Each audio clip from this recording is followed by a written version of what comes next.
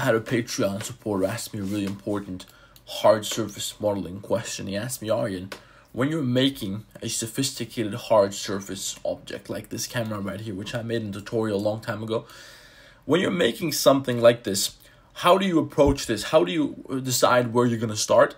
How do you rank parts of this object into sort of hierarchy so you know what you're going to do first, what you're going to do after that? Describe to me your workflow, Aryan, please, would you?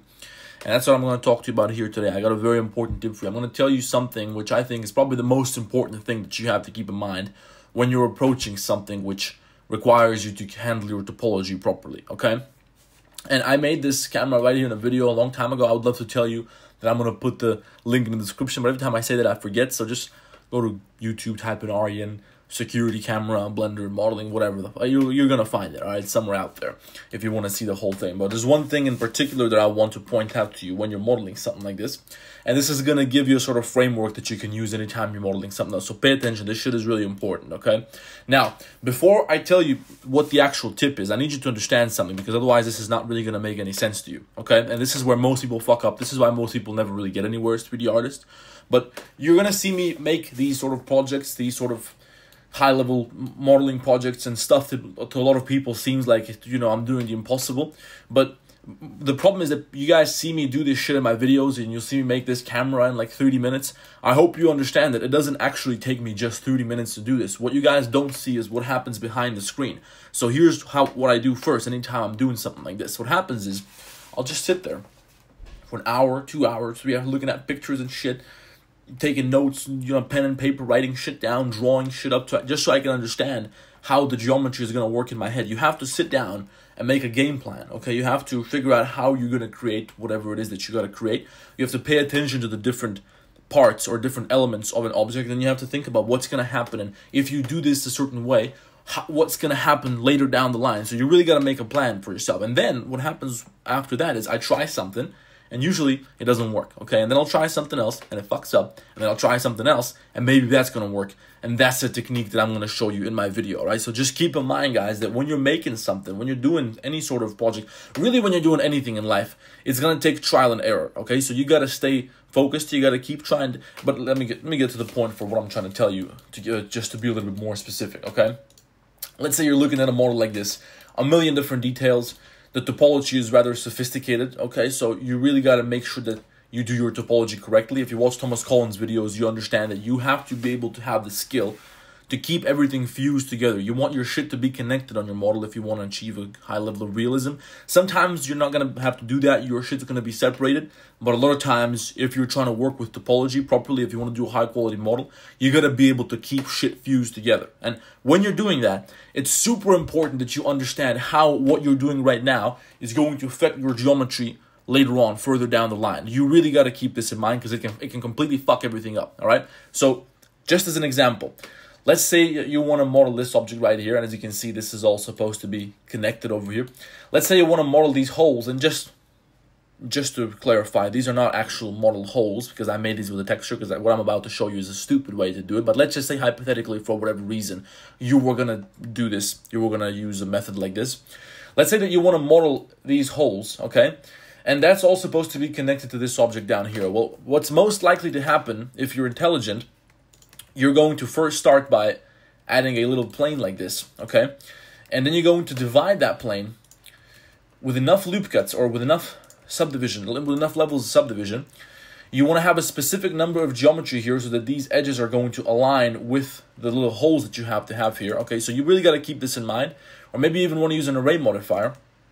And then maybe you're going to use your, you're going to select a section like this and you're going to do select, checker deselect and then maybe you want to deselect every other every other uh, vertex and then you're going to do control plus okay? And then you're going to inset this and that's how you're going to make your holes. I'm not actually trying to keep them aligned because this is just a stupid example just so you can understand what i'm talking about. But you need a specific amount of geometry to make sure that these holes are going to be aligned with the reference image with whatever it is you're trying to creating whatever it is that you're trying to create. And when you do something like this you added lots of geometry and then you're going to realize at some point that well now you have this number of edges over here, which is not necessarily the right amount of edges that you're supposed to have to create this part down here, because now you got maybe 92 edges over here, but you're supposed to have only 16 to create, and it just doesn't work that way. So your the mathematics don't add up. So if you're hyper intelligent, you're gonna keep this shit in mind before you start doing anything. You're gonna have to sit down a lot of times. I'm over here using a calculator. You're gonna see me in my videos. I got a calculator on the side. I'm doing math and shit. I'm doing fractions. I'm calculating all this different shit because you really gotta keep this in mind. So you wanna make sure that whatever amount of edges you're going to use for this is going to be suitable for creating the next part because before you know it you spend an hour making the holes and now that shit's not going to work when you're doing this thing down here. And it's just before you know it you're using booleans to try and cheat your way through and then it's just a disaster. And then you're going to go no this is not for me. I don't understand how people do it. I'm just going to quit. I'm just going to give up. And this is where most people really fuck up because they don't understand that when you're doing something like this first of all you have to have a superpower of being able to predict the future, which really comes from experience, from fucking up a million times like I did, okay? And you just gotta have persistence. You gotta understand that anytime you're doing something, you gotta try multiple different things until something eventually works out.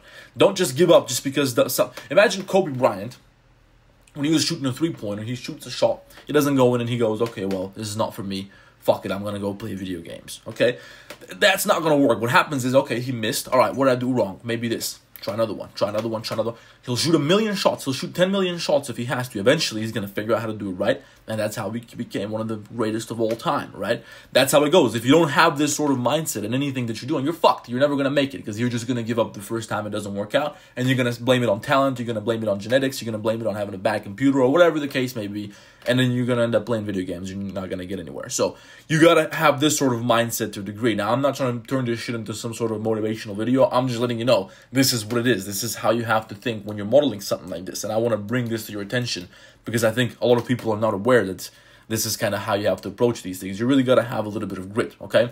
And then also when you're doing stuff like this, you really want to pay attention to some of the most important topology principles, which I always talk about in my videos.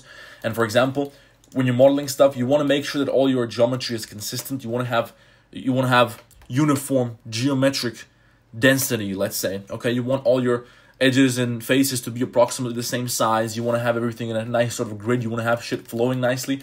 You want to try and avoid stuff like this where you got stretched out quads and stuff like that. This is going to lead to all sorts of problems. These are the things that I talk about in my videos all the time, and this is also one of the most important principles that I described and talked about in the topology section of my Blender ebook. So if you want to learn more about these sort of techniques that I'm talking about here, then check out my Blender ebook. There's a link for that below. And if you have any questions about this type of stuff, let me know in the comments. And if you want me to check out your particular situation, I talk about this type of shit with my patrons all the time. So check out my Patreon, I can help you out. And if you want to talk to me, ask me other questions about AI, economics. Is AI going to take your fucking job? How do you get clients? This is the kind of questions that people ask me about. And this is the type of shit I love to talk to people about on Instagram. So follow me on Instagram. I'll, you, you're going to see what I'm doing and all this other shit. But anyway, like the video. Let me know what you want to see next. Subscribe to the fucking channel. I'll see you in the next one.